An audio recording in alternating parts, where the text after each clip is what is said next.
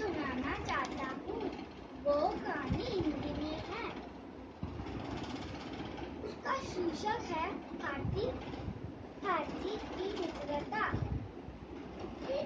एक जंगल में एक हाथी हाथी रहता था तो कोई मित्र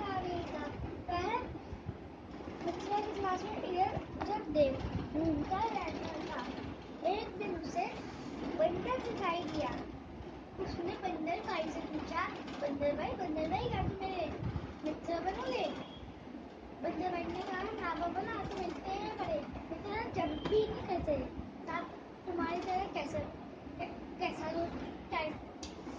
क्या बोला था कैसे दोस्त बनूं कैसे दोस्त बनूं और आज में गया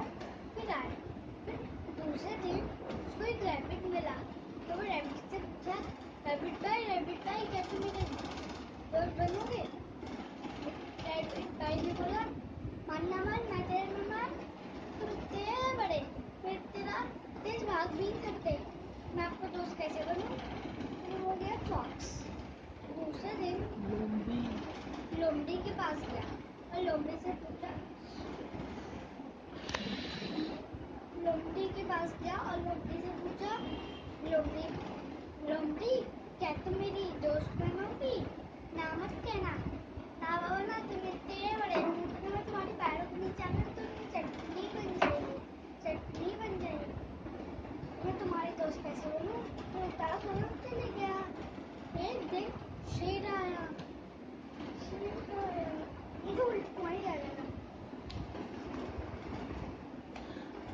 तो हाँ बोलो। शेर आ गया उसने सबको झपटने लग गया। हाथी आकर लात मार के उसको भगा दिया। फिर सब खुश हो गए। सब खुश हो गए। हाथी से कहा, हाथी भाई हाथी भाई, क्या तुम मेरे मित्र बनोगे? इस खाली समय ये शिक्षा मिलती है अच्छा और सच अच्छा और सच्चा, वही दोस्त होता है। में काम आता है धन्यवाद